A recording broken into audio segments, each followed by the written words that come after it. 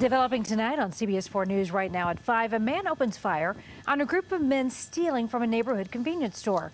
One suspect is dead. A car crashed, and tonight, a neighbor in a nearby apartment complex faces a murder charge.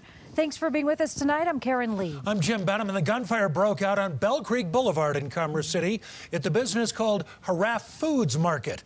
CBS 4's Terry Mason there, right? Tori Mason with the very latest story. Looks like investigators have a lot to sort out. They do, and these guys behind me have a lot of work to do to repair the damages. So just before 5 a.m., Commerce City Police responded to a burglary at this convenience store behind me. Now, people in the area heard gunshots, but those shots were fired by a neighbor who had nothing to do with the burglary.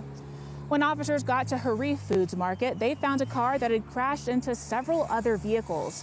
Inside the car, police found one of the burglary suspects shot dead. Police say two other suspects ran. After searching the area, officers found one suspect and could only tell us he's a minor.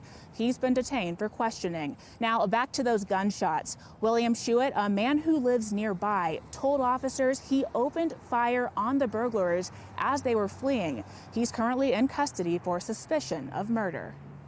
I mean, it really sucks because, you know, they were trying to do something good for the community, you know, for them to stop the violence, but obviously it didn't end how it was supposed to end. And you know, it's it's kind of terrifying living in a neighborhood like that. Caught some muzzle flash at first. It seemed like it come through the window, but we rolled out and hit the floor. So, now wasn't brave and looking out the windows. Probably a good idea there. Now, the name of the suspect who was killed has not been released. The store was closed when they broke in, and the owner says the only thing he noticed that was missing were cigarettes. We're live in Commerce City. Tori Mason covering Colorado First.